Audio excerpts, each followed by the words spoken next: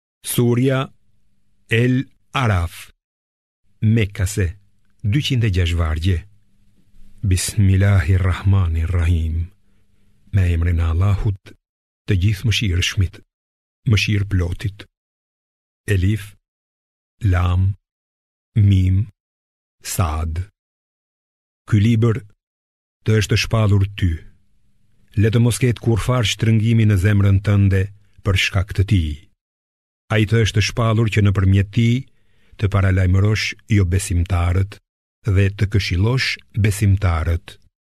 Ndiqni atë që ju është zbritur nga Zoti juaj, e mos ndiqni mbrojtës të tjerë përveç tij. Sa pak që i pranoni këshillat. Sa shumë qytete kemi rrënuar ne. Dënimi ynë u erdhi natën ose ditën kur ata pushonin.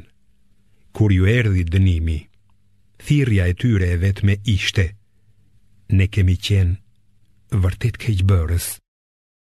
Pa dyshim, ne do të kërkojmë llogari prej popujve që u kemi çuar të dërguar, e patjetër që do t'i pyesim edhe të dërguarit. dhe do t'jua paraqesim gjithçka kanë bërë, sepse i dimë plotësisht dhe kemi qenë të pranishëm. Peshimi i veprave atë ditë do të jetë i drejtë. Ata që u rëndon peshorja me vepra të mira, do të jenë të shpëtuar. Kurse ata që e kanë të lehtë peshoren me vepra të mira, do të humbin veten e tyre, për shkak se mohuan shpalljet tona. Ne ju kemi vendosur në tokë dhe aty ju kemi dhënë çfarë ju nevojitet për jetesë. E sa pak mirënjohës që jeni. Ne ju krijuam e pastaj ju dhamë formën. E u thamë engjëjve, përuljuni në sexhde Ademit. Të gjithë iu përulën, përveç Iblisit. Ai nuk ishte nga ata që u përulën. Allahu tha, Çfarë të pengoi ty të mos përuleshe kur të urdhërova? Ai u përgjigj, Unë jam më i mirë se ai. Mua më krijove nga zjarri, kurse atë e krijove nga balta. Allahu i tha, Atëherë, zbrit prej andej xhenetit. Ti nuk ke të drejtë që të krenohesh në të. Shporru me të vërtetë. Ti je prej të poshtëruarve. Iblisi tha: Më jep afat deri në ditën kur ringjallen njerëzit. Allahu i tha: Ti je nga ata që u është dhënë afati. Ai tha: Për shkak se ti më flake tej, unë do t'u zë pritë njerëzve në rrugën tënde të drejtë. E do t'u qasem atyre nga përpara dhe nga mbrapa, nga e djatha dhe nga e majta, e kështu ti do të vëresh se shumica prej tyre nuk të janë mirënjohës. Allahu i tha, dil prej andej i përbuzur dhe i përjashtuar. Pa dyshim, xhehenemin do ta mbush me ty dhe me të gjithë ata që shkojnë pas teje. Ndërsa, Ademit i tha, o Adem, bano ti dhe bashkëshortja jote në xhenet dhe hani ç'të dëshironi, por mos iu afroni kësaj peme, se bëheni keqbërës. Djalli u pëshpëriti për t'ua zbuluar pjesët e turpshme të mbuluara të trupit të tyre dhe u tha: Zoti juaj jua ka ndaluar pemën vetëm që të mos bëheni engjëj ose të pavdekshëm. dhe iu betua atyre duke thënë, vërtet, unë jam për ju këshillues i sinqertë, dhe i mashtroi me dinakërinë e tij. Pasi e shijuan frutin, atyre iu zbuluan vendet e turpshme dhe nisën të mbulohen me gjethet e xhenetit dhe zoti i tyre i thirri. A nuk jua kisha ndaluar atë pemë? A nuk ju pata thënë se djalli është vërtet armiku juaj i hapët? Ata thanë, o zoti ynë, ne e kemi futur veten në gjynah, prandaj, nëse ti nuk na fal dhe nuk na mëshiron, ne vërtet që do të jemi nga të humburit. Allahu tha, zbritni, ju do të jeni armiq me njëri-tjetrin. Në tokë do të banoni dhe do të jetoni deri në një kohë të caktuar. Aty do të jetoni, aty do të vdisni dhe prej saj do të ringjalleni. O bijtë e Ademit, ne ju dërguam rroba që të mbuloni vendet e turpshme, si edhe për zbukurim, por petku i devotshmërisë është më i miri. Këto janë disa shenja të Allahut që ju të merrni këshillë. O bijtë e Ademit, le të mos ju mashtrojë kurrsesi djalli, ashtu si i nxori prindërit tuaj nga xheneti, duke ua zhveshur rrobat për t'u dukur vendet e turpshme. Ai dhe shpura e tij ju sheh, prej nga ju nuk i shihni ata. Ne i kemi bërë djajtë roje të atyre që nuk besojnë. Kur ata bëjnë një vepër të shëmtuar thonë, ne i kemi gjetur prindërit tanë që i bënin, por edhe Allahu na ka urdhëruar kështu. Thuaj, Allahu nuk urdhëron të bëhen vepra të pahijshme. Përse thoni për Allahun atë që nuk e dini? thuaj, Zoti im urdhëron drejtësi. Drejtohuni vetëm nga ai në çdo xhami e lutjuni atij sinqerisht me besim të pastër e të vërtetë, siç ju ka krijuar së pari, ashtu do t'ju ringjallë. Disa, Ai i ka udhëzuar në rrugë të drejtë, kurse disa të tjerë e kanë merituar humbjen. Ata kanë zgjedhur djajtë për mbrojtës në vend të Allahut dhe mendojnë se janë në rrugë të drejtë. O bijtë e Ademit, vishuni përshtatshëm kudo dhe kurdo që të faleni. Hani e pini, por mos e teproni, se ai nuk i do ata që e teprojnë. Thuaj, Kush i ka penguar stolitë dhe ushqimet e këndshme, të cilat Ai i ka krijuar për robërit e Vet? Thuaj, Ato janë për besimtarë dhe të tjerët në këtë botë, ndërsa në botën tjetër do të jenë vetëm për besimtarët. Kështu ua shpjegojmë shpalljet njerëzve që dinë. Thuaj, me të vërtetë, Zoti im ka ndaluar vetëm punët e pahijshme, qofshin të hapta ose të fshehta, dhe gjynahet. Dhunimin pa të drejtë, t'i shoqërohet Allahut në adhurim diçka, për të cilën nuk ju ka dhënë kurrfarë të drejte, dhe të thoni për Allahun atë që nuk e dini. Çdo popull ka afatin e vet. Kur t'i vijë koha e fundit, ata nuk mund ta shtyjnë, qoftë edhe për një çast dhe as nuk mund ta shpejtojnë.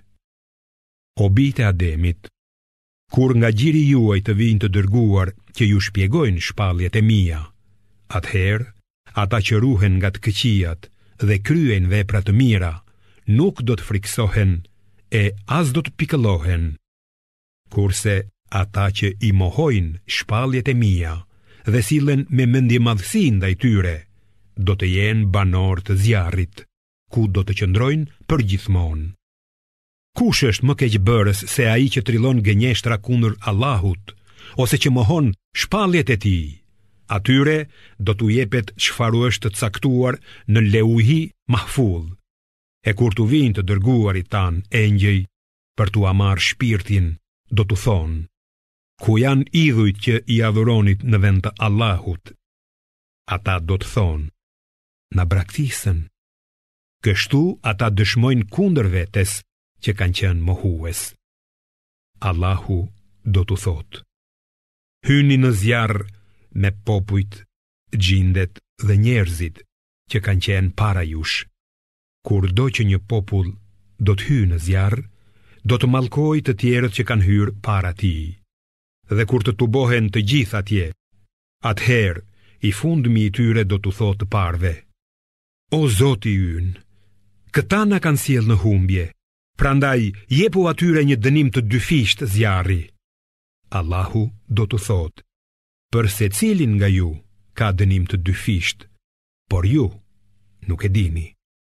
Të parët do t'u thonë të fundmëve, ju nuk keni qenë më të mirë se ne, prandaj shijoni dënimin për atë që keni punuar. Me të vërtetë, atyre që i mohuan shenjat tona me mendjemadhësi, nuk do t'u hapen dyert e qiellit dhe as që do të hyjnë në xhenet, derisa të kalojë deveja nëpër vrimë të gjilpërës. Kështu i ndëshkojmë gjynahqarët. Për ata janë përgatitur shtretër zjarri dhe sipër tyre do të ketë mbulesa zjarri. Kështu i ndëshkojmë ne keqbërësit. Kurse ata që besojnë dhe kryejnë vepra të mira, ne nuk ngarkojmë askënd më tepër nga sa ka mundësi. Ata janë banorë të xhenetit, në të cilin do të qëndrojnë përgjithmonë. Ne do ta shkulim urrejtjen nga krahërori i tyre. Te këmbët e tyre do të rrjedhin lumenj dhe ata do të thonë: Qoftë lavdëruar Allahu që na udhëzoi në këtë. Ne nuk do të ishim udhëzuar sikur të mos na udhëzonte Allahu. Pa dyshim, të dërguarit e Zotit tonë kanë sjellë të vërtetën. Dhe një zë do t'i thërrasë. Ky është xheneti që ju e keni merituar për atë që keni punuar. Dhe banorët e xhenetit do t'u thonë banorëve të zjarrit: Ne e gjetëm të vërtetë atë që na premtoi Zoti ynë. Po ju, a e gjetët të vërtetë atë që ju premtoi Zoti juaj? Ata do të thonë: Po. Atëherë, një lajmëtar midis tyre do të thërrasë. Mallkimi i Allahut është mbi keqbërësit, të cilët i kanë penguar të tjerët nga rruga e Allahut, duke dashur ta shtrembërojnë atë dhe nuk kanë besuar në jetën tjetër. Një mur do t'i ndajë ata, ndërsa në lartësitë e tij do të ndodhen njerëz, të cilët i njohin të dyja palët sipas tipareve. Ata do t'u thërrasin banorëve të xhenetit. Paqja qoftë mbi ju. Ata nuk do të kenë hyrë ende në xhenet, ndonëse shpresojnë. E kur t'i kthejnë sytë nga banorët e zjarrit, do të thonë: O Zoti ynë, mos na hidh midis këtyre njerëzve të këqinj. Pastaj, njerëzit e murit, araf, do t'u thërrasin disa njerëzve që i njohin nga pamja, duke u thënë: Nuk ju ndihmoi as grumbullimi i pasurisë suaj, as kryelartësia juaj ndaj të vërtetës. A janë këta për të cilët u betuat se nuk do t'i arrijë mëshira e Allahut, ndërsa atyre do t'u thonë sërish: Hyni në xhenet. Për ju s'ka frikë e as pikëllim. Banorët e zjarrit do t'u thërrasin banorëve të xhenetit. Derdhni pak ujë te ne ose diçka nga ajo që ju ka dhuruar Allahu. Ata thonë: Në të vërtetë, Allahu këto i ka ndaluar për mohuesit, të cilët e morën fenë për lojë dhe argëtim dhe u mashtruan nga jeta e kësaj bote. Ne sot do t'i harrojmë ata, ashtu siç e patën harruar ata takimin e kësaj dite dhe siç mohuan shpalljet tona. Ne u kemi zbritur atyre një libër, të cilin e kemi shpjeguar gjerësisht që të jetë udhërrëfyes dhe mëshirë për njerëzit që besojnë. A mos vallë, ata presin zbatimin e tij? Kur t'u vijë dita e zbatimit, do të thonë për atë që e patën mohuar më parë. Të dërguarit e Zotit tonë na kanë sjellë të vërtetën. A ka ndonjë ndërmjetësues që të ndërhyjë për ne? A mund të kthehemi sërish në jetën e tokës që të veprojmë ndryshe nga ç'kemi punuar? Me siguri që ata do t'i humbasin shpirtrat e tyre dhe ajo që trillonin do t'i braktisë. Në të vërtetë, Zoti juaj është Allahu, që krijoi qiejt dhe tokën për 6 ditë e pastaj u ngrit mbi fronin hyjnor që mbisundon gjithësinë. Ai me errësirën e natës e mbulon ditën, e cila e ndjek atë. Dielli, hëna dhe yjet i përulen urdhërit të tij. Vetëm atij i përket krijimi dhe urdhërimi. Qoftë bekuar Allahu, Zoti i botëve. Lutjuni Zotit tuaj përulshëm dhe ngadalë. Njëmend, ai nuk i do ata që e kalojnë kufirin. Dhe mos bëni çrregullime në tokë pasi është vënë rregulli, ndërsa atij lutjuni me frikë dhe shpresë. Vërtet mëshira e Allahut është afër punëmirëve. Ai i dërgon erërat si lajmëtare të mëshirës së tij, kur erërat lëvizin retë e rënda me shi, Ai i çon ato tek ndonjë vend i vdekur, ku lëshon shi dhe me anë të tij nxjerr lloj-lloj frutash. Po kështu do t'i ringjallë edhe të vdekurit. Këta janë shembuj që t'ua vini veshin. Toka e mirë i jep frutat me lejen e Zotit të saj, ndërsa toka e keqe zor se jep gjë. Kështu, në mënyra të ndryshme, ne ia shpjegojmë shpalljet tona njerëzve mirënjohës. Ne ia dërguam Nuhun, popullit të tij, e ai u tha, o populli im, adhuroni Allahun, ju nuk keni zot tjetër përveç tij, unë kam frikë se do të bjerë mbi ju dënimi i një dite të madhe. paria e popullit të tij tha, Ne të shohim ty në humbje të qartë.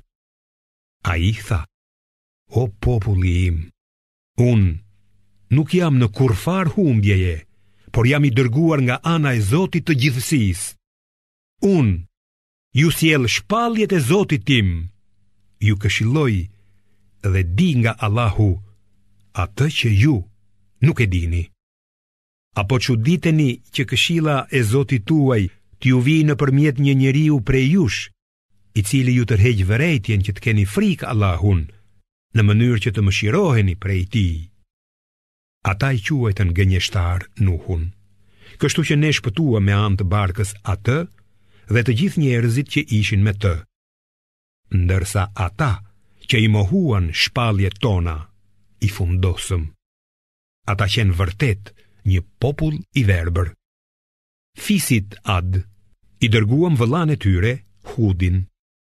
Ai tha, o populli im, adhuroni Allahun, ju nuk keni zot tjetër përveç tij, a nuk po i ruheni dënimit. Paria e popullit të tij, që nuk besonte, tha, Ne shohim tek ti mendjelehtësi dhe mendojmë se je gënjeshtar. Ai tha, o populli im, unë nuk jam mendjelehtë, por jam i dërguar nga Zoti i botëve. Unë ju sjell shpalljet e Zotit tim dhe jam këshilltar besnik.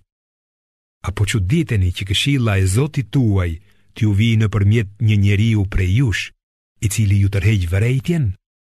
Kujtoni që ai ju bëri zëvendës pas popullit të Nuhut dhe ju dha trup e fuqi të madhe. Kujtoni dhuntitë e Allahut në mënyrë që të keni sukses. Ata thanë, a mos na ke ardhur që të adhurojmë vetëm Allahun e t'i lëmë zotat që kanë adhuruar prindërit tanë? Atëherë, na sill atë me të cilën na kërcënon nëse je i sinqertë. Ai tha, tashmë, ju ka rënë dënimi dhe zemërimi i Zotit tuaj. A më kundërshtoni mua për emrat e idhujve, të cilët ua keni vënë ju dhe prindërit tuaj, e për të cilët Allahu nuk ju ka sjellë kurrfarë diturie. Pra, pritni se edhe unë po pres me ju. Me mëshirën tonë, ne E shpëtuam Hudin dhe të gjithë besimtarët që ishin me të, dhe i asgjësuam ata që i mohuan shpalljet tona. Ata ishin të gjithë mosbesimtarë. Ndërsa fisit Themud, ne i dërguam vëllanë e tyre Salihun. Ai tha, o populli im, adhuroni Allahun, Ju nuk keni zot tjetër përveç tij. Në të vërtetë, juve ju është dhënë një shenjë e qartë nga Zoti juaj. Kjo deve e Allahut për ju është një mrekulli. Lëreni të kullosë në tokën e Allahut dhe mos i bëni ndonjë të keqe, se ju pret ndëshkimi i ashpër. Dhe sillni në mend kur ai ju bëri zëvendës pas fisit Ad dhe ju dhuroi vendbanime në tokë, në rrafshinat e saj po ngrini pallate, e në kodrina po gdhendni shtëpi. Kujtoni të mirat e Allahut dhe mos bëni çrregullime në tokë. Por paria arrogante e popullit të tij, u tha të shtypurve në radhët e atyre që kishin besuar. A e pranoni që Salihu është i dërguar nga Zoti i tij?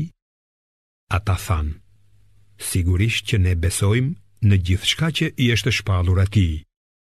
Ata që ishin kryelartë, thanë, ne nuk besojmë në atë që besoni ju. Kështu, ata e therën devenë pa e përfillur urdhërin e Zotit të tyre dhe thanë, O Salih, sillna atë që na ke premtuar, nëse je vërtet i dërguar. Për këtë arsye, ata i goditi një tërmet i rëndë në mëngjes dhe mbetën të vdekur në shtëpitë e tyre. Ai u largua prej tyre dhe tha, o populli im, unë ju solla mesazhin e zotit tim dhe ju këshillova, por ju nuk i donit ata që këshillojnë. Kujtoni fjalët e Lutit, i cili i tha popullit të vet: Përse bëni paturpësi të tilla që askush nuk i ka bërë në botë? Ju u qaseni meshkujve me epsh në vend të femrave. Me të vërtetë, ju jeni popull që e teproni me të këqija. Përgjigja e popullit të tij ishte: Dëbojini ata nga vendbanimi juaj. Ata janë njerëz që duan të mbahen të dlirë. Kështu, ne e shpëtuam atë me gjithë familje, përveç gruas së tij. Ajo ishte nga ata që mbetën pas dhe u ndëshkuan. Dhe mbi ta lëshuam rrebesh gurësh. Pra, shiko si përfunduan njerëzit e zvetënuar. popullit të Medjenit, ne i dërguam vëllanë e tyre, Shuajbin, i cili u tha, O populli im, adhuroni Allahun. Ju nuk keni zot tjetër përveç tij. Në të vërtetë, ju ka ardhur provë e qartë nga zoti juaj. Prandaj, matni dhe peshoni saktë, mos u hani hakun njerëzve dhe mos bëni ngatërresa në tokë, pasi të jetë vënë rregulli në të. Kjo është më mirë për ju nëse jeni besimtarë. Mos zini pusi në çdo rrugë, duke frikësuar dhe penguar nga rruga e Allahut ata që besojnë tek Ai dhe duke kërkuar shtrembërimin e Saj. Kujtoni atëherë kur ishit të paktë në numër e Ai ju shumoi. Shikoni si përfundojnë ngatërrestarët. Nëse një grup mes jush beson në mesazhin me të cilin jam dërguar, ndërsa grupi tjetër nuk beson, duroni derisa Allahu të gjykojë midis nesh. Ai është gjykatësi më i mirë. Paria arrogante e popullit të tij tha: O Shuajb, kthehuni në fenë tonë ose do t'ju dëbojmë nga qyteti ynë, ty me gjithë ndjekësit e tu. Shuajbi tha, Edhe pse e urrejmë atë, nëse do të ktheheshim në fenë tuaj, pasi Allahu na shpëtoi nga ajo, atëherë do të shpifnim gënjeshtra kundër Allahut. Ne nuk mund të kthehemi në të, përveçse po të dojë Allahu, Zoti ynë. Ai përfshin çdo gjë me dijeninë e vet dhe tek ai ne mbështetemi. O Zoti ynë, gjyko drejtë midis nesh dhe popullit tonë.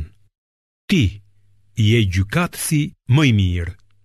Por paria e pafe i tha popullit të tij, nëse shkoni pas Shuajbit, atëherë me siguri do të jeni të humbur. E kështu, ata i goditi një tërmet i rëndë dhe u gdhin të shtrirë përmbys në shtëpitë e tyre. Ata që e quajtën Shuajbin gënjeshtar, sikur nuk kishin banuar kurrë në atë vend. Ata që e quajtën Shuajbin gënjeshtar, qenë të humbur. Shuajbi u largua prej tyre dhe tha, O populli im, unë ju solla shpalljet e zotit tim e ju këshillova, prandaj, pse të hidhërohem për popullin e pafe? Sa herë që çonim të dërguar në ndonjë vendbanim, ne i dënonim banorët e tij me skamje dhe sëmundje, në mënyrë që të përuleshin. Pastaj, ua shndërronim fatkeqësinë në lulëzim. Por kur shtoheshin e begatoheshin, ata thoshin, edhe etërit tanë i patën goditur hidhërimet e gëzimet, kështu që ne i dënonim papritmas pa e marrë vesh ata. Sikur banorët e atyre qyteteve të besonin dhe të ruheshin prej gjynaheve, ne do t'u dërgonim bekime nga qielli dhe toka, por ata mohuan. Prandaj i dënuam për atë që bënë. A janë të sigurt banorët e këtyre qyteteve se nuk do t'u vijë dënimi ynë natën, ndërkohë që flenë? A janë të sigurt ata se nuk do t'iu vijë dënimi ynë ditën, ndërkohë që argëtohen? A janë të sigurt ata nga të papriturat e Allahut? Vetëm ata që janë të humbur nuk u frikësohen të papriturave të Allahut. A nuk është e qartë për ata që trashëguan tokën e banorëve të mëparshëm të saj, se nëse ne dëshirojmë, i dënojmë për gjynahet e tyre dhe ua vulosim zemrat që të mos dëgjojnë. Ne të kemi treguar ty disa nga ngjarjet e atyre popujve. Të dërguarit e tyre u erdhën me prova të qarta, por sigurisht që ata nuk do të besonin diçka që edhe më parë e mohonin. Kështu ua vulos Allahu zemrat mohuesve. Ne pamë se shumica e tyre nuk i përmbaheshin besëlidhjes. Vërtet, ne gjetëm se shumica e tyre ishin të pabindur. Pas tyre, Ne dërguam Musain me shenjat tona te faraoni dhe paria e tij, por edhe ata i mohuan ato. Pra, shiko si ishte përfundimi i ngatërrestarëve. Musai tha: O faraon, në të vërtetë unë jam i dërguari i Zotit të botëve. E kam për detyrë që për Allahun të them vetëm të vërtetën dhe tashmë ju kam sjellë provë të qartë nga Zoti juaj. Andaj, lëri të vijnë me mua bijtë e Izraelit. Faraoni tha: Nëse ke sjellë ndonjë shenjë, tregoje, nëse ajo që thua është e vërtetë. Musai lëshoi shkopin e vet dhe ai u bë gjarpër i madh. pastaj nxorri dorën e tij e ajo iu duk krejt e bardhë të pranishmëve. Paria e popullit të faraonit tha, Ky qenka vërtet një magjistar i shkathët, i cili kërkon t'ju nxjerrë nga toka juaj. Atëherë, çfarë na këshilloni? Të tjerët thanë, mbani pak mënjanë atë dhe vëllanë e tij, dhe dërgoni nëpër qytete lajmëtarë që të tubojnë e të të sjellin ty faraon çdo magjistar të shkathët. Dhe kur erdhën magjistarët e faraonit, thanë: A do të shpërblehemi nëse fitojmë? Faraoni tha: Po. Dhe do të jeni nga më të afërmit e mi. Ata thanë: O Musa, ose hidh ti, ose të hedhim ne të parët shkopinjtë tanë. Hidhni ju, u përgjigj ai. Kur magjistarët hodhën shkopinjtë e tyre, i magjepsën sytë e njerëzve, i frikësuan ata dhe shfaqën një magji të madhe. Atëherë, ne i kumtuam Musait, hidhe shkopin tënd dhe ai filloi të gëlltiste gjithçka që trilluan ata. Në këtë mënyrë, doli në shesh e vërteta dhe dështoi ajo që kishin bërë ata. Kështu, faraoni dhe njerëzit e tij u mundën dhe u kthyen të poshtëruar, kurse magjistarët u përulën në sexhde, duke thënë: Ne besojmë në Zotin e botëve, Zotin e Musait dhe të Harunit. Faraoni tha: Ju guxoni ta besoni atë pa lejen time? Në të vërtetë ky është një komplot që keni përgatitur me qëllim që të nxirrni nga qyteti banorët e tij. Keni për ta parë. Do t'jua këpus duart dhe këmbët këmbyerazi e pastaj do t'ju kryqëzoj të gjithëve. Ata thanë: Ne me siguri do të kthehemi tek Zoti ynë. Ti po hakmerresh ndaj nesh vetëm se besuam shenjat e Zotit tonë, posa na erdhën. O Zoti ynë, na jep durim të madh dhe bëna të vdesim muslimanë. Paria e popullit të faraonit tha: A mos vallë do ta lësh Musain dhe popullin e tij që të bëjnë ngatërresa në tokë dhe që të të braktisin ty dhe zotat e tu? Faraoni u përgjigj, meqenëse jemi sundues mbi ata, ne do t'i vrasim djemtë e tyre dhe do t'i lëmë gjallë gratë të tyre.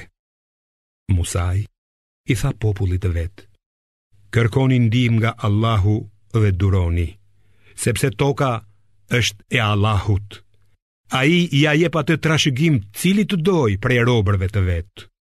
Fundi i lumtur u takon atyre që i frikësohen Allahut. Ata i thanë, ne kemi vuajtur para se të vish ti dhe ende po vuajmë. Musa i tha, ndoshta zoti juaj do ta zhdukë armikun tuaj dhe do t'ju bëjë sundimtarë në tokë për t'ju parë se si do të veproni. Dhe ne e goditëm popullin e faraonit me thatësi, me vite zie, që të zinin mend, por sa herë që u vinte ndonjë e mirë, ata thoshin: Këtë e kemi merituar. E kur i godiste ndonjë e keqe, atë e merrnin si ogur të zi që vinte prej Musait dhe popullit të tij. Por jo. Allahu ishte ai që ua ndillte fatin e zi. Ndonëse shumica e tyre nuk e dinin. Ata i thoshin Musait: Çfarëdo prove që të na sjellësh për të na magjepsur me të, ne nuk do të të besojmë. Prandaj ne u dërguam atyre përmbytje. Karkaleca, rriqëra, bretkosa dhe gjak, si shenja të qarta, por ata madhështoheshin dhe ishin popull keqbërës. E kur i godiste dënimi, ata thoshin, O Musa, lutju Zotit tënd për ne, meqë ka besëlidhje me ty. Nëse na liron nga kjo vuajtje, patjetër që do të të besojmë ty dhe do t'i lëmë bijtë e Izraelit të ikin me ty. Por, kur i liruam nga vuajtja dhe erdhi afati i caktuar, ata e shkelën menjëherë premtimin. Kështu, ne u hakmorëm dhe i fundosëm në det, ngaqë ata i mohuan shenjat tona dhe nuk ua vunë veshin. Ndërsa popullit të përndjekur, ne i dhamë në zotërim viset lindore dhe perëndimore të tokës që kishim bekuar. Kështu u përmbush premtimi i bukur i Zotit tënd ndaj izraelitëve, për shkak të durimit që treguan. Ndërsa ndërtesat dhe kullat e faraonit dhe të popullit të tij, ne i shkatërruam. Ne i kaluam bijtë e Izraelit përtej detit, ku ndeshën një popull që adhuronin idhujt e vet. Ata i thanë Musait, Na bëna edhe neve një zot, ashtu si kanë ata zota. Musa i tha, Ju qenkeni vërtet një popull i paditur. Fenë që ndjekin këta idhujtarë e pret shkatërrimi dhe ajo që bëjnë është krejt pa vlerë. A mos vallë doni të kërkoj për ju zot tjetër përveç Allahut që ju ka ngritur mbi të tjerët? Kujtoni kur ne ju shpëtuam nga populli i faraonit, i cili ju mundonte pa masë, fëmijët meshkuj jua vriste, kurse femrat tuaja jua linin gjallë. Kjo ka qenë sprovë e madhe për ju nga zoti juaj. Ne i premtuam Musait se do t'i flisnim pas 30 netësh, të cilat ia shtuam dhe me dhjetë të tjera, kështu që takimi me Zotin e tij u bë pas dyzet netësh. Musai i tha vëllait të vet Harunit: Më zëvendëso te populli im, mbaj rregull dhe mos ndiq rrugën e ngatërrestarëve. Kur Musai erdhi në kohën e caktuar dhe Zoti foli me të, Ai tha, o zoti im, shfaqu që të të shoh. Zoti tha, ti nuk mund të më shohësh, por shiko në atë mal. Nëse ai mbetet në vendin e vet, atëherë ti do të më shohësh mua. E kur zoti i tij iu shfaq malit, e thërmoi atë dhe e bëri pluhur. Ndërsa Musait i ra të fikët. Kur erdhi në vete, ai tha, I lavdëruar qofsh ti, o Zot, kthehem te ty i penduar, unë jam i pari i besimtarëve. Zoti tha, o Musa, unë të kam zgjedhur ty mbi të tjerët, me kumtet e mia dhe të folurin tim pa ndërmjetës por të drejtpërdrejtë. Merre atë që të kam dhënë dhe bëhu mirënjohës. Ne i shkruam në pllaka udhëzime dhe shpjegime për gjithçka. Merri këto me bindje dhe urdhëroje popullin tënd që t'i përvetësojë në mënyrën më të mirë. Unë do t'ju tregoj shtëpinë e të pabindurve. Do t'i largoj prej shenjave të mia ata që sillen me arrogancë në tokë, kështu që edhe kur të shohin çfarëdo shenje, nuk do ta besojnë atë. Kur të shohin rrugën e drejtë, ata nuk do ta ndjekin atë, dhe kur të shohin rrugën e gabuar, do ta marrin atë, sepse ata nuk i besuan shpalljet tona dhe nuk u kushtonin vëmendje atyre. Atyre që mohojnë shpalljet tona dhe takimin në botën tjetër, do t'u zhvlerësohen veprat, a do të dënohen ndryshe, veçse sipas punëve që kanë bërë. Populli i Musait, pas largimit të tij filloi të adhurojë një viç të bërë nga stolisjet e tyre të arta. Ai kishte një zë si të lopës. A nuk e shihnin ata se ai as nuk mund t'u fliste, as t'i udhëzonte në rrugë të drejtë. Ata e zgjodhën këtë viç për adhurim, dhe u bënë keqbërës. Por kur u penduan dhe e kuptuan se kishin hyrë në rrugë të gabuar, ata thanë: Nëse Zoti ynë nuk na mëshiron dhe nuk na fal, me të vërtetë do të jemi të humbur. Kur Musai u kthye te populli i tij, i zemëruar dhe i pikëlluar, thirri: Shumë e keqe është ajo që keni bërë pas ikjes sime. A mos vallë doni të shpejtoni ndëshkimin e Zotit tuaj? Pastaj i hodhi pllakat dhe duke e kapur vëllanë për koke, e tërhoqi drejt vetes. Haruni i tha: O djali i nënës sime, në të vërtetë, këta njerëz më quajtën për të dobët dhe gati më mbytën. Mos më turpëro para armiqve, dhe mos më llogarit ndër keqbërësit. Musai u lut: O Zot, më fal mua dhe vëllanë tim dhe na prano në mëshirën tënde. Ti je më i mëshirshmi i mëshiruesve. Ata që zgjodhën viçin për Zot të tyre, do t'i zërë zemërimi i Zotit të tyre dhe poshtërimi në këtë jetë.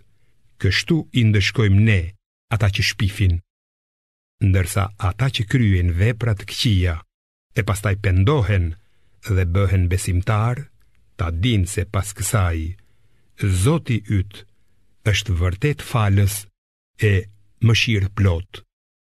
Dhe kur Musait i kaloi zemërimi, I mori pllakat në të cilat ishin shënuar udhëzimet për rrugën e drejtë dhe mëshira për ata që i frikësohen Zotit të tyre.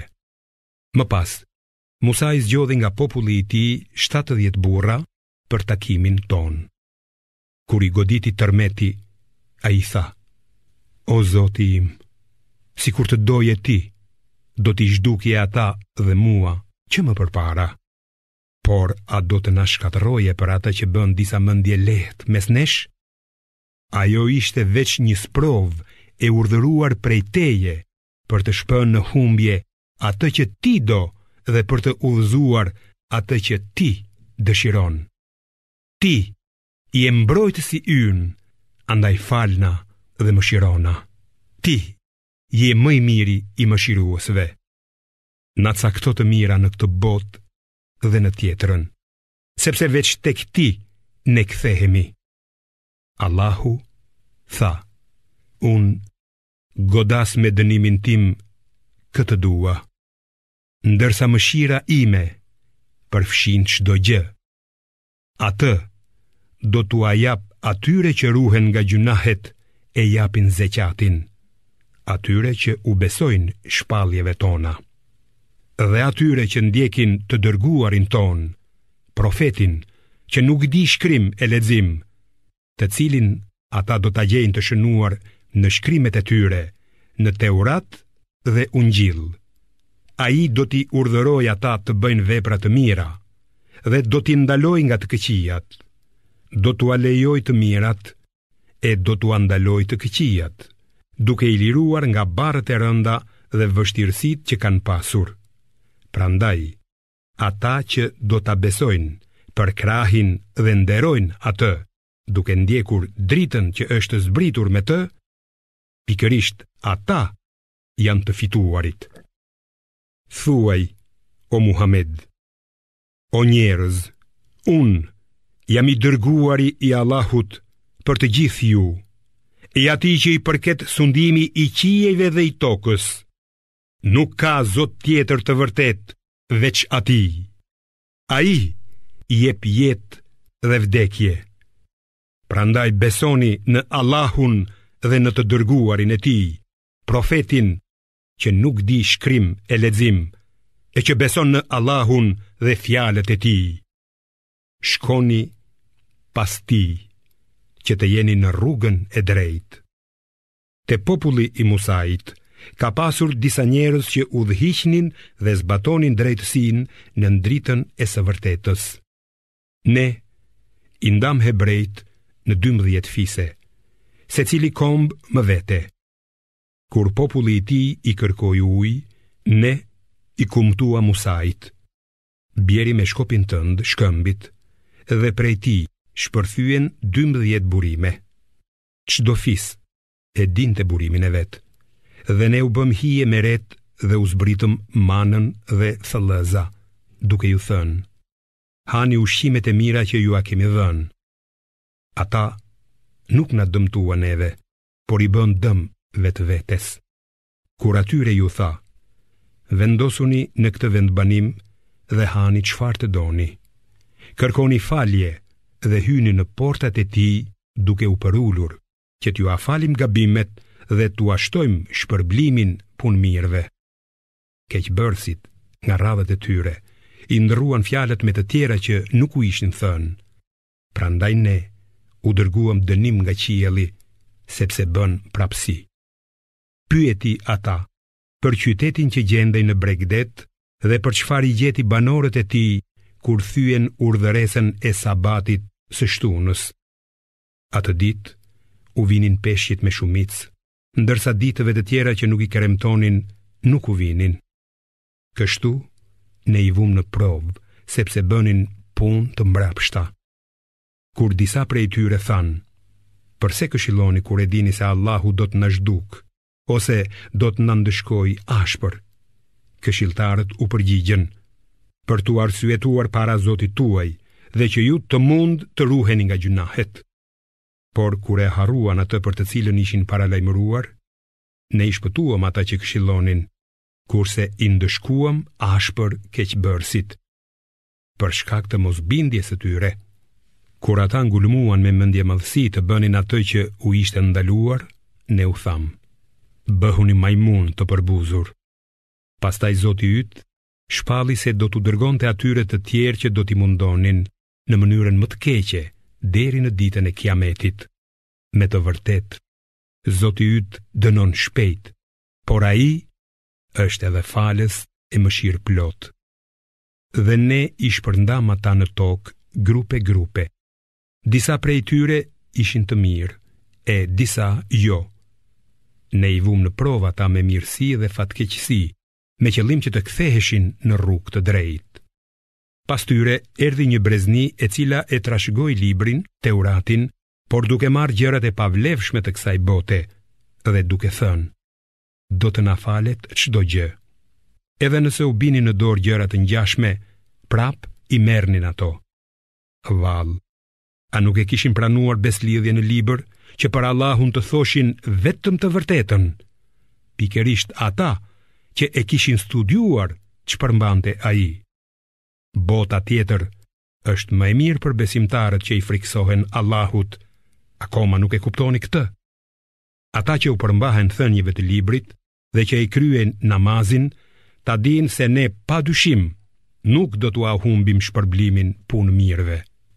Ne ngritëm sipër tyre malin, që dukej si hije, e ata besonin se do të binte mbi ta, dhe u thamë, mbajeni fort atë që ju dhamë, dhe kujtoni çfarë përmban ajo, që të ruheni nga gjynahet.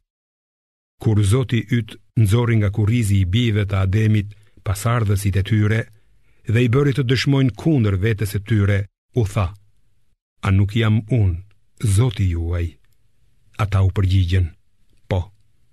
Dëshmojmë se ti je Kështu bëri Ai, në mënyrë që ju, o njerëz, të mos thoni në ditën e Kiametit, këtë nuk e kishim ditur, ose që të mos thoni, me të vërtetë etërit tanë ishin idhujtarë para nesh, kështu që edhe ne jemi pasardhësit e tyre, a mos vallë, do të na shkatërrosh për veprat e atyre që ndoqën mashtrimin. Kështu ne i shpjegojmë hollësisht shpalljet që ata të kthehen në rrugën e drejtë. Tregoju atyre hebrenjve për njeriun të cilit ne i mësuam shpalljet tona, por u largua prej tyre. Kështu djalli e pushtoi atë dhe ai u bë nga të humburit. Sikur të donim, do ta ngrinim atë me shpalljet tona. por ai u mbërthye pas jetës tokësore dhe u dha pas dëshirave të veta. Shembulli i tij është si shembulli i qenit, nëse e ndjek, ai të nxjerr gjuhën. Nëse largohesh, ai përsëri të nxjerr gjuhën. Ky është shembulli i njerëzve që mohojnë shpalljet tona. Tregojua atyre këto ngjarje në mënyrë që ata të mendojnë. I shëmtuar është shembulli i njerëzve që i mohojnë shpalljet tona dhe i bëjnë keq vetëvetes. Ai, të cilin Allahu e udhëzon, është në rrugë të drejtë, ndërsa ai të cilin Allahu e shpie në humbje, është vërtet i humbur. Ne kemi paracaktuar për xhehenemin shumë xhinde dhe njerëz, sepse ata kanë zemra, por nuk kuptojnë. Kanë sy, por nuk shohin dhe kanë veshë, por nuk dëgjojnë. Ata janë si bagëtitë, madje edhe më zi. Pikërisht këta janë të shkujdesurit. Allahut i përkasin emrat më të bukur.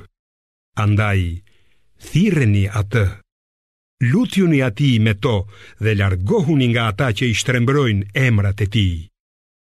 Ata do të ndëshkohen për çfarë kanë vepruar.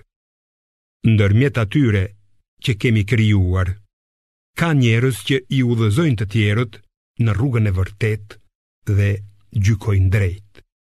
ndërsa ata që i mohojnë shpalljet tona, dalëngadalë, ne do t'i shpiem drejt shkatërrimit pa e kuptuar, e do t'u japim afat. Me të vërtetë, plani ynë është i fortë. A nuk u ka vajtur ndonjëherë në mendje atyre, se shoku i tyre nuk ka kurrfarë marrëzie? Ai është vetëm paralajmërues i hapët. A nuk e shohin ata mbretërinë e qiejve e të tokës dhe gjithçka që ka krijuar Allahu duke menduar se mund t'u jetë afruar fundi? Në çfarë shpalljeje tjetër do të besojnë pas kësaj? Ata që Allahu i shpie në humbje, askush nuk mund t'i udhëzojë në rrugë të drejtë. Ai i lë ata të enden në mosbesimin dhe humbjen e tyre. Ata të pyesin ty Muhammed rreth orës së Kiametit. Thuaju, atë e di vetëm Zoti im. Kohën kur do të ndodhë ajo, do ta tregojë vetëm Ai. Do të jetë e rëndë për qiejt dhe tokën. Do t'ju vijë krejtësisht papritmas. Ata të pyesin, a thua se ti di diçka për të? Thuaj, Këtë e di vetëm Allahu, ndërsa shumica e njerëzve nuk e dinë. Pse kjo gjë është e fshehët? Thuaj, unë nuk mund t'i sjell vetes as dobi, as dëm, përveçse aq sa dëshiron Allahu. Sikur ta dija të padukshmen, do t'i shumoja të mirat dhe nuk do të më prekte asnjë e keqe. Unë jam vetëm paralajmërues dhe sjellës i lajmeve të mira për njerëzit që besojnë. Është ai që ju krijoi nga një njeri i vetëm, Ademit, prej të cilit krijoi edhe bashkëshorten e tij, Havan, që të gjente qetësi tek ajo. Kur njeriu bashkohet me gruan e vet, e ngarkon atë me një barrë të lehtë që ajo e kalon pa e ndierë për ca kohë. Dhe kur ajo rëndohet, ata të dy i luten Allahut, Zotit të tyre. Nëse na dhuron pasardhës të shëndoshë, do të të jemi vërtet mirënjohës. Por, pasi ai u dhuron pasardhës të shëndoshë e të mirë, ata të dy i veshin Allahut ortakë në lidhje me atë që u kishte dhënë. Por Allahu është shumë lart nga ato që ia veshin atij si ortakë. A mos vallë, ata i veshin atij si ortakë idhuj që nuk mund të krijojnë asgjë, ndërkohë që vetë janë të krijuar. Idhuj që nuk mund t'u japin ndonjë ndihmë atyre e as veten nuk mund ta ndihmojnë. Edhe nëse i thirrni në rrugën e drejtë, ata nuk do t'ju ndjekin. Prandaj, njësoj është, i thirrët apo nuk i thirrët. Në të vërtetë, ata që u luteni ju në vend të Allahut, janë robër si ju. Thirrini ata dhe le t'ju përgjigjen nëse thoni të vërtetën. A kanë ata këmbë për të ecur ose duar për të kapur? A kanë sy për të parë ose veshë për të dëgjuar? Thuaj, thirrni zotat tuaj të rremë dhe kurdisni kurthe kundër meje, pa më lënë kohë. Në të vërtetë, mbrojtësi im është Allahu, i cili ka zbritur librin dhe kujdeset për të mirët, kurse ata që i adhuroni në vend të tij nuk mund t'ju ndihmojnë as ju e as veten. Edhe sikur t'i thërrasësh në rrugë të drejtë, ata nuk do të dëgjojnë. Ty të duket sikur të vështrojnë, por ata nuk shohin. Trego mëshirë, urdhëro vepra të mira dhe shmangu nga të paditurit. Nëse djalli përpiqet të të shtyjë drejt së keqes, kërko strehim tek Allahu, se vërtet ai dëgjon dhe di gjithçka. Ata që i frikësohen Allahut, kur u vjen ndonjë mendim i lig nga djalli, i kujtojnë urdhërat e tij, e atëherë e shohin rrugën e drejtë. Ndërsa vëllezërit e vet prej njerëzve, ata i shpijnë edhe më tej në humbje pa pushuar. Kur ti Muhammed nuk u lexon atyre ndonjë varg nga shpallja, ata thonë, ah sikur ta bëje ti vetë. Thuaju, unë ndjek vetëm atë që më ka shpallur Zoti im. Ky Kur'an është vetëm dëshmi ndriçuese nga Zoti juaj, udhërrëfim dhe mëshirë për njerëzit që besojnë.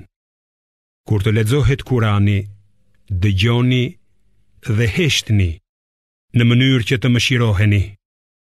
Përmende Zotin tënd me vete, i përulur dhe me frikë, jo me zë të lartë, në mëngjes dhe në mbrëmje, dhe mos u bëj nga ata që nuk i kushtojnë vëmendje. Në të vërtetë, ata që janë afër Zotit tënd nuk refuzojnë ta adhurojnë atë, por e lavdërojnë dhe përulen në sexhde para tij.